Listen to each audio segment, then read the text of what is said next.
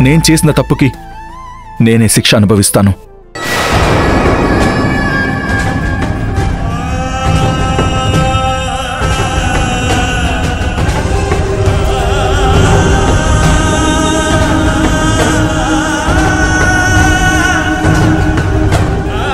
తనని ఇక్కడికి ఎలా తీసుకొచ్చానో మళ్ళీ అలాగే తన్ని వాళ్ళింటికి తిరిగి పంపిస్తాను.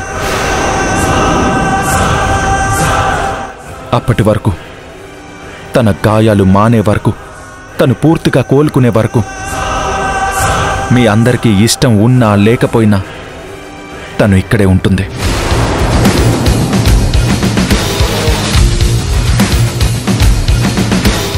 ఏం మాట్లాడుతున్నావు నువ్వు? తనిక్కడ మహారాణిలా దర్జాగా తిని కూర్చునుంటే ఈవిడి గారి గాయాలు మానేదాకా ఈవిడి గారు పూర్తిగా కోలుకునేదాకా ఈవిడి గారికి సేవలు ఎవరు చేస్తారు? ఈ ఇంట్లో అంత కర్మ ఎవరికి పట్టలేదు. నేనే చేస్తాను.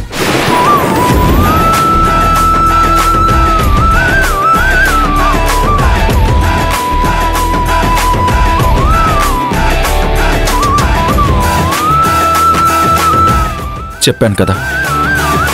నేను చేసిన తప్పుకి శిక్ష నేనే అనుభవిస్తాను అని. అభి సార్ నన్ను సపోర్ట్ చేస్తున్నందుకు సంతోషపడాలో నా వల్ల వీళ్ళందరితో మాటలు పడుతున్నందుకు బాధపడాలో అర్థం కావడం లేదు. ఇంకా ఎక్కువసేపు ఉంటే అభి సార్ని ఇంకా తిడతారు.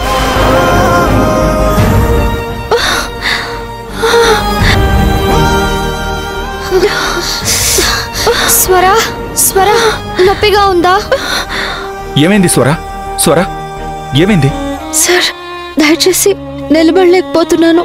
నన్ను కూర్చోబెట్టండి.